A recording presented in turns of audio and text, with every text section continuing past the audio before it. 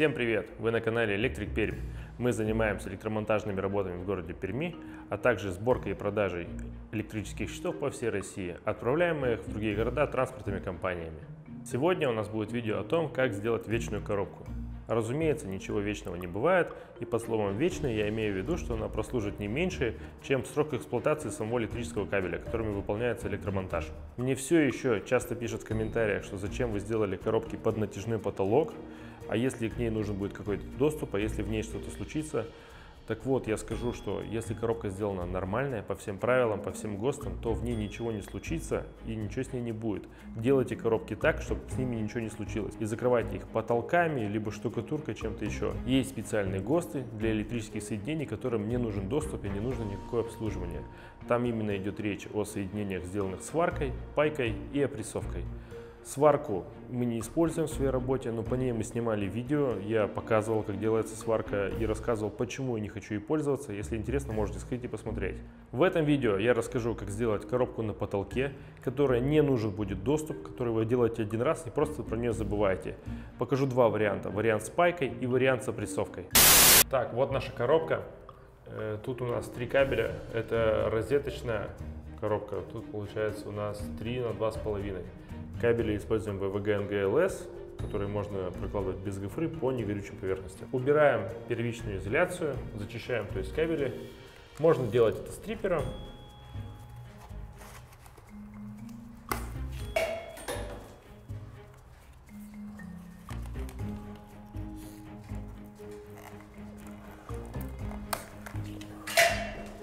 Можно и обычным канцелярским ножом.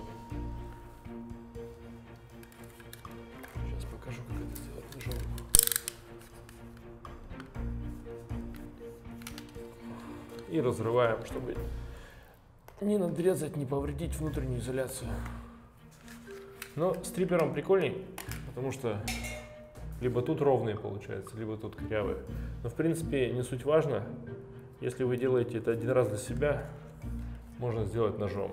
Но бывает еще такой кабель вонючий, пока партия попадется, что он просто не зачищается стрипером. Так, Потом, получается, разводим жилки, поскольку эта коробка розеточная, делаем все по цветам. То есть синий к синему, желто-зеленый, желто-зеленому, белый к белому. Можно использовать стяжки для того, чтобы поровнее все это дело было. Потом их откусить, к примеру. Можно не использовать. Но в случае с опрессовкой лучше использовать чтобы их зачистить стрипером на одном расстоянии. Защищаем.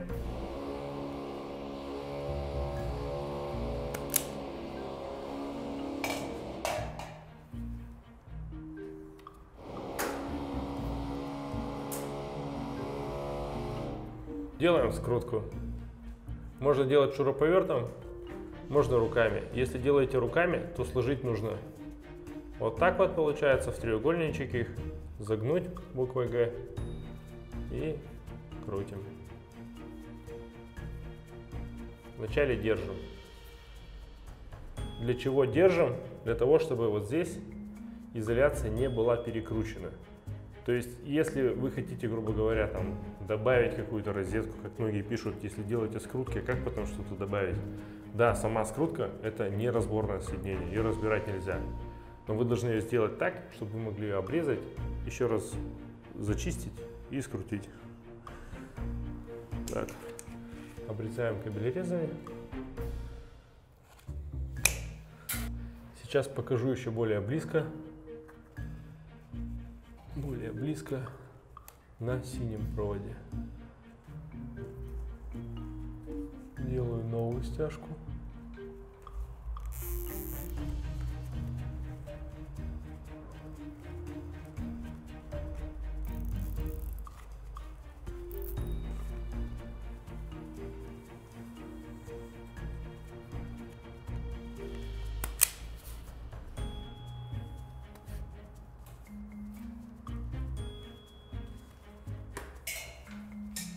Так, если мы их сложим в линию, вот так вот, ну хреновая скрутка получится. Я уже проверял это много раз. Я вот именно так складываю, как бы, чтобы они были таким треугольником. Можно потом сфоткать, конечно. Загибаем, держим и закручиваем.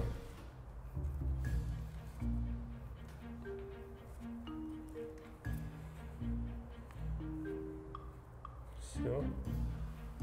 Разумеется, так просто их нельзя оставлять без дальнейшей обработки, поскольку это не соответствует соединению, которому не нужен доступ. Мы, если делаем скрутки, то их обязательно пропаиваем. То есть дальнейшая обработка у нас в виде пайки идет. Должен сказать, что с недавних пор пайка э, земляных контактов, то есть вот этих почему-то стала запрещена. Честно говоря, я не понимаю почему, поскольку, я не знаю, уже десятилетиями электрики паяли и все было можно, и вдруг законы физики поменялись, что ли, или что. Но в любом случае я не могу пропагандировать то, что, скажем так, запрещено, или, по крайней мере, я должен об этом предупредить, что такой закон есть. То есть мы уже официально не можем сделать скрутку, допустим, земли и пропаять ее.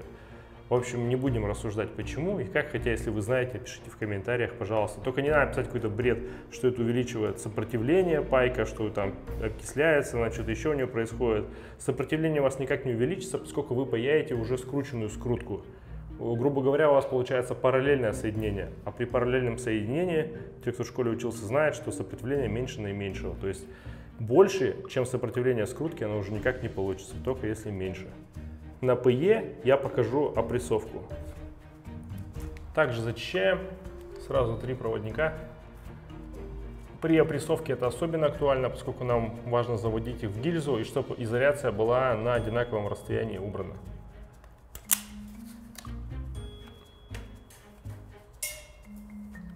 Значит, мы зачистили, теперь надеваем сюда гильзу.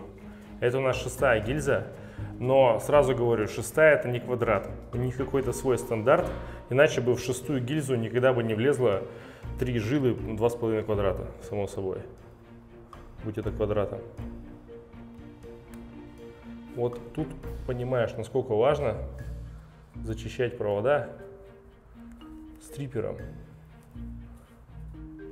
Потому что тогда они проще залазят, потому что они ровнее. Желательно до самого конца затянуть. Но, в принципе, если не затянете прямо на всю эту, тоже не страшно, просто термоусадки придется одеть больше.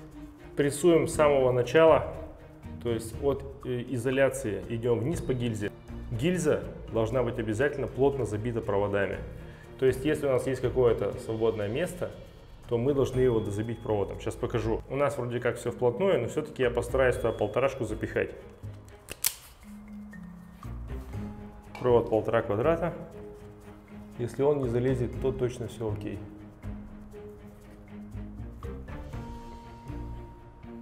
Не, не могу запихать. Не, все вплотную. Теперь будем прессовать. Прессовать будем точкой, но сделаем не одну точку, а штуки 3-4. Обычно так делаем. Тут у нас получается нумерация вот это гильз. Сзади не смотрите на эту нумерацию, это уже какой-то японский стандарт, как я понял. Вот здесь у нас э, наши вот российские гильзы. Причем мы используем гильзы КВТ и клещи КВТ, чтобы точно все нормально подходило. Нам нужно получается от 4 до 6, поскольку у нас гильза шестая. Так, берем гильзу.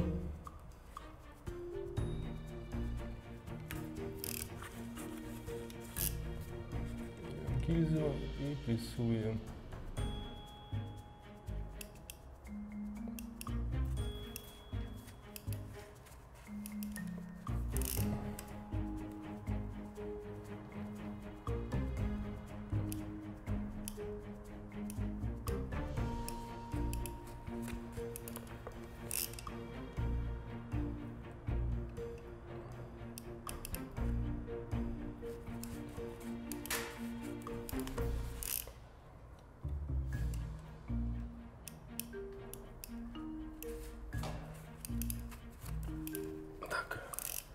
Сделаю 4 раза, а потом в четвертом месте я отрежу кабелерезами и на iPhone попытаюсь сфотографировать, чтобы видно было хорошо.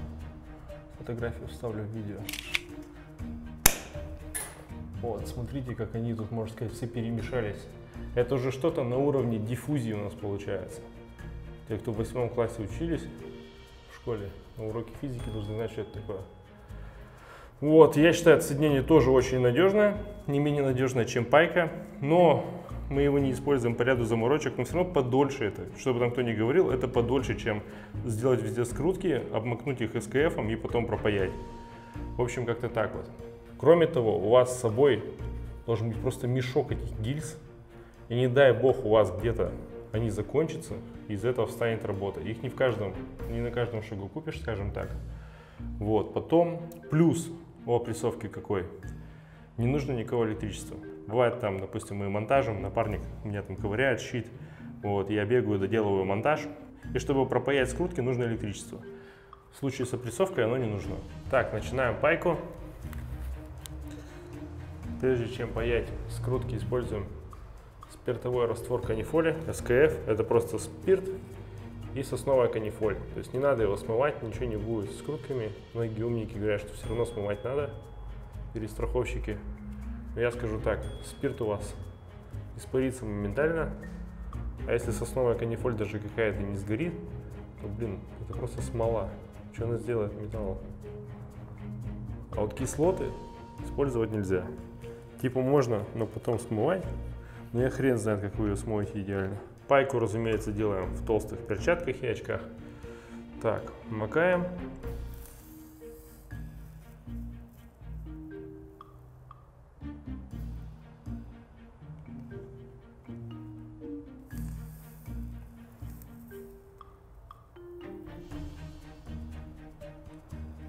Много раз уже рассказывал про свой паяльник. Это обычный паяльник топорик 200 ватт, который мы везли токарям. Они нам сделали отверстие тут фрезой. Оно у нас играет роль ванночки, в которую мы засовываем уже наше олово. Это POS 60, по-моему, у него марка. В общем, ничего особого, все очень просто. Ну, хотите, ссылку на него оставлю в описании или там артикул куда-нибудь оставлю. Делать коробки, которым не будет доступа, можно не только за потолком, но и в стенах. Более того, я скажу, что заказчики очень часто хотят коробки сделать так, чтобы их не было видно, спрятать стену, там замазать штукатуркой или заклеить обоями. Это можно делать, но если у вас коробка сделана пайкой, сваркой или опрессовкой. И ни в коем случае нельзя, если она на обычных сизлах или вообще на каких-нибудь клемниках, как это чаще всего и бывает, но обычно это никого не останавливает.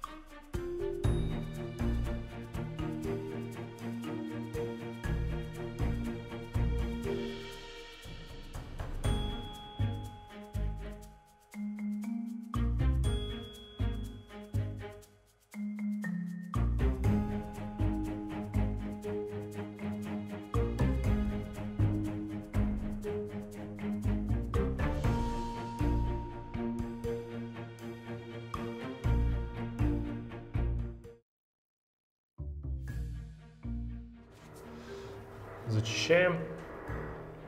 Что-то тут больно много, больно большой запас сделал.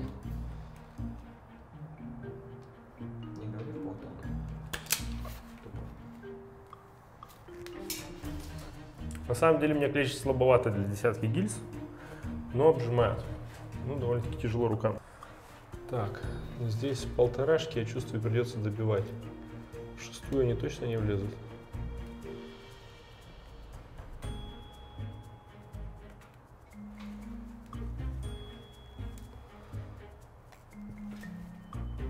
Зато до упора все дотянулось. Так, сейчас мы их добьем.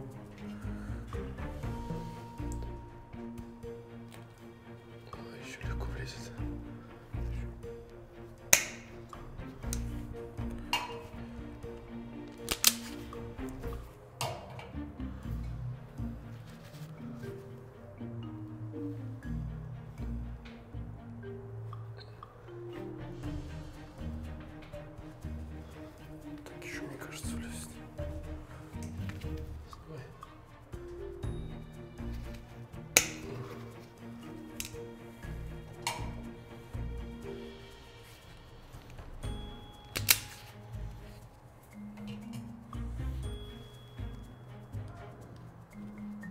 Вот это уже с трудом.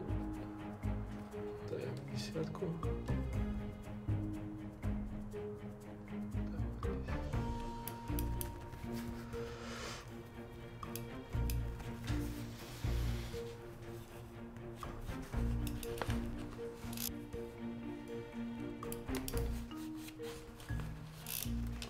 Тяжеловато, но обжимается.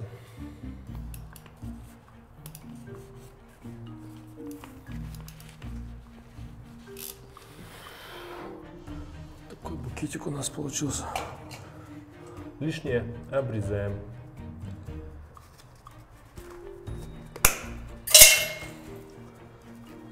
Все. Теперь так всю коробку. Стяжками уже все стянули. Дальше будем изолировать.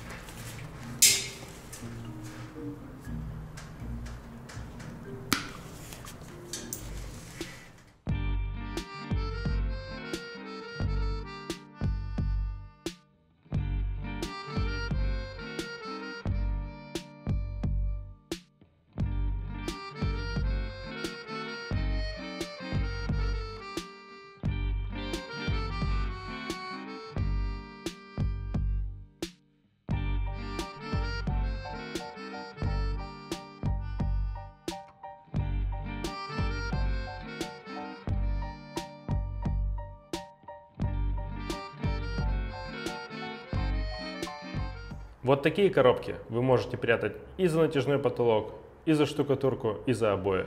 На этом у меня все. Ставьте лайки, пишите комментарии, подписывайтесь на канал. Всего доброго. Заходите в мой инсту.